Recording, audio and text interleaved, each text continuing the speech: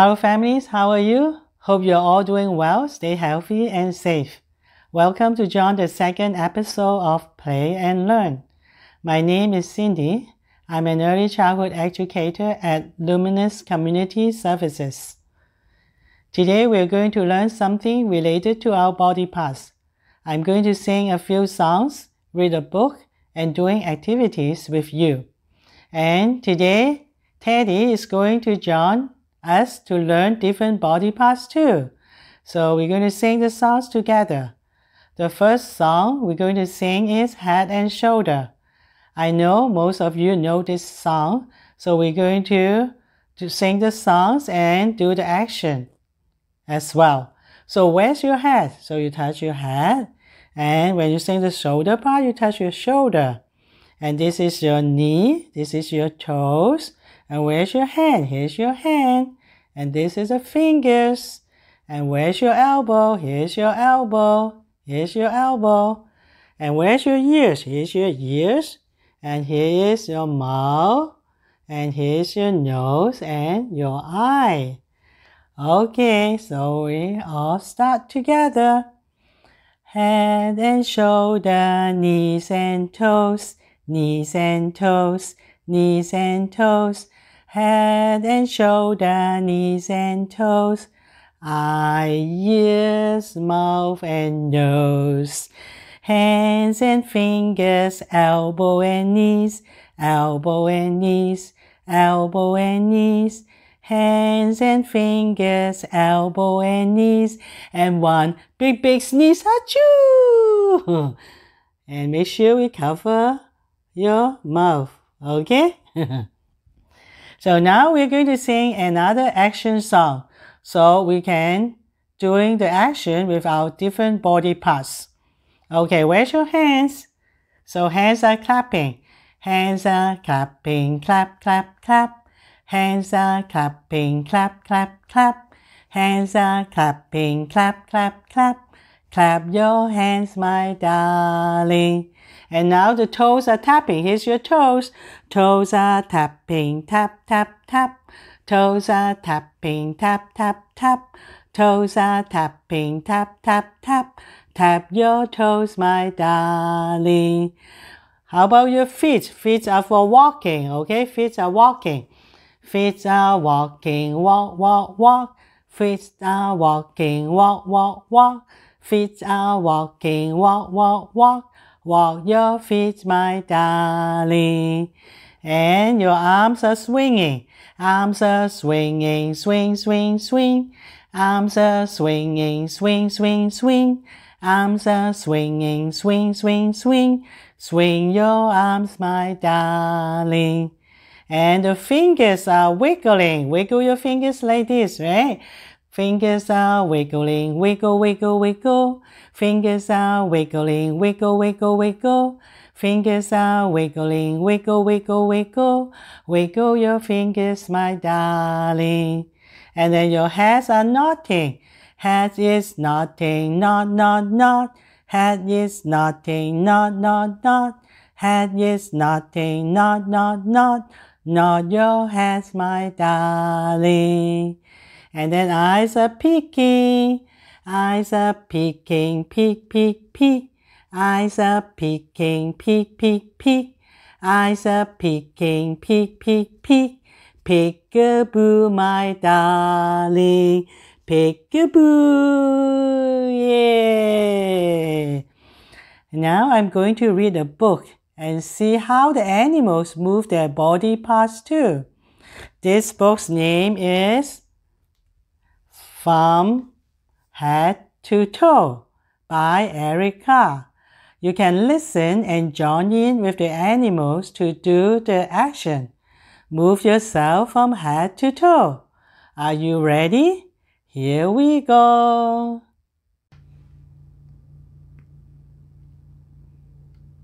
From Head to Toe by Eric Carle.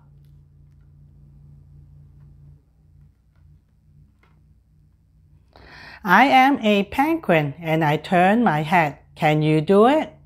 I can do it. So turn your head.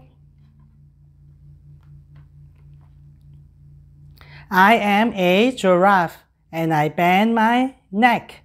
Can you do it? I can do it. Bend your neck. I am a buffalo and I raise my shoulders. Can you do it? I can do it. Raise your shoulder. I am a monkey and I wave my arms. Can you do it? I can do it. Wave your arms. I am a seal and I clap my hands. Can you do it? I can do it. Clap your hands. I am a gorilla and I thumb my chest. Can you do it? I can do it from your chest. I am a cat and I arch my back. Can you do it? I can do it. So arch your back like a cat. I am a gorilla and I waggle my hips. Can you do it? I can do it. So waggle your hips. I'm a camel and I bend my knees. Can you do it? I can do it. Bend your knee. I'm a donkey and I kick my legs. Can you do it? I can do it. Kick your legs. I'm an elephant and I stomp my foot. Can you do it? I can do it. Stomp your foot. I am I and I wiggle my toes. Can you do it? I can do it. I can do it. Wiggle your toes. The end.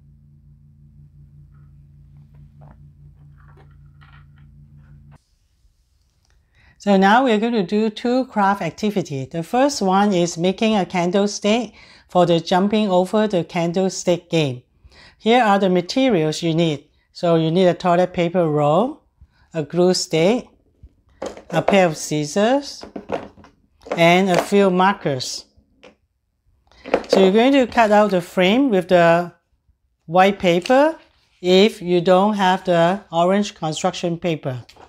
So you draw the frame on the paper and cut it out. And the kids will going to color the frame with the orange marker on both sides. After you finish coloring the frame, you're going to decorate the toilet paper roll. You can use sticker if you have. If you don't, you give them the marker or crayon. They can draw whatever they like. After that, and then you're going to glue the frame onto the toilet paper roll. So here's how we make the candlestick. So now when we play with the game, we're going to sing the rhyme together. There's a rhyme called Jack be nimble, Jack be quick. Jack jump over the candlestick. So for preschooler, it enhances their language skill by listening to the rhyme. And also you can uh, call the child's name instead of Jack for jumping over the candlestick. Also, for the uh, gross motor skill will be developed when they jump over the candlestick. For coloring and cutting and decorating for the toilet paper roll can enhance their fine motor skill. For toddler as well, they can do coloring and then they can also, uh, by listening to the rhyme to enhance their language skill, and for gross motor skill, because uh, they might not know how to jump over the candlestick, and then you can uh, ask them to walk over the candlestick, or even the adults then hold them jumping over the candlestick. So this is how the game is played with the candlestick. The second craft activity is making a person. So here's the material we need. So we need a paper and we need glue stick. We need markers, scissor, color paper, and yarn or shattered tissue paper. So first we draw out the person on the paper and then we cut it out. And for the preschooler, we ask them to make and draw the eyes, right? You can ask them, where's the eyes? So can you put the eyes, the nose, and the mouth? And also they can use the yarn or shattered tissue paper to make the hair.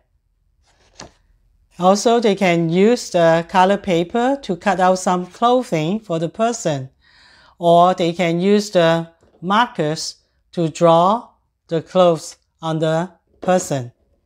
For this activity for preschoolers, they can help them for the language skill by asking them, where is the eye? How many eyes? And also uh, by naming and recognize different body parts. Also for um, fine motor skill by drawing, by gluing the stuff onto the body.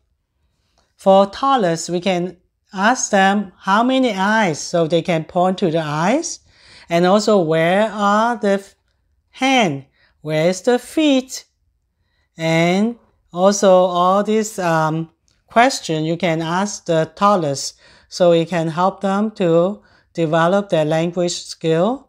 And also you can let them use the crayon or markers to try to draw the eyes or nose or mouth too. So all this can help them to develop their fine motor skill. So I hope you will try to do these activities at home and have fun with them. Okay, we'll see you next time. Bye bye.